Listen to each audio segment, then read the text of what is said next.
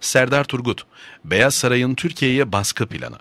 Washington'da Katar'da patlayan kriz sonrasında Beyaz Saray'ın çok önemli bir yeni plan üzerinde çalıştığı ve bu planın ana hedefinin Türkiye'yi Amerika'nın istekleri doğrultusunda çekmek olduğu konuşuluyor.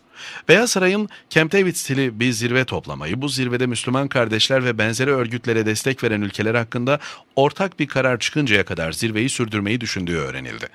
Amerika'nın zirveye Suudi Arabistan, Mısır, Birleşik Arap Emirlikleri ve Katar'la ilişkilerini kesen diğer Müslüman ülkeleri çağırmayı planladığı ama gündemin Müslüman kardeşler ve benzeri örgütlere destek veren Katar ve diğer ülkeler hakkında neler yapılabileceği, nasıl tavırlar alınabileceği olduğu belirtiliyor.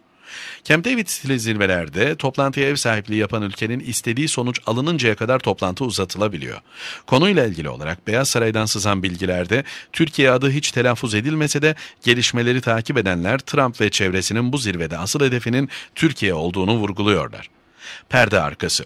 Beyaz Saray'ın bu yeni planının perde arkasında Trump'ın damadı ve danışmanı Jared Kushner'ın olduğu ve baş stratejist Steve Bannon'ın da ona destek verdiği söyleniyor. Bannon'ın ilişkili olduğu haber kuruluşu Breitbart News bu zirve hazırlığı hakkında haber de yaptı.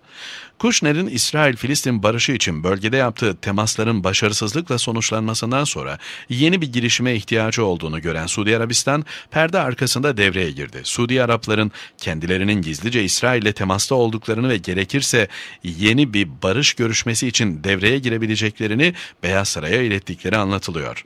Jared Kushner de bunun yolunun açılabileceğini ancak Suudi Arabistan'dan Camp David türü bir zirveye katılım örgütlemesini ve zirvenin Amerika'nın istediği şekilde sonuçlanmasını ayarlamasını istedi. Şimdi görünen o ki henüz tarihi tam belirlenmeyen bu zirvenin Orta Doğu için tarihi bir girişim olarak sunulması planlanıyor.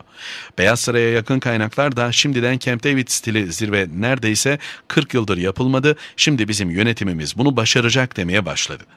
Camp David stili zirve adını 1978 yılında Camp David'de İsrail ile Mısır arasında yapılan görüşmelerden sonra 1979 yılında imzalanan tarihi barış anlaşmasından alıyor.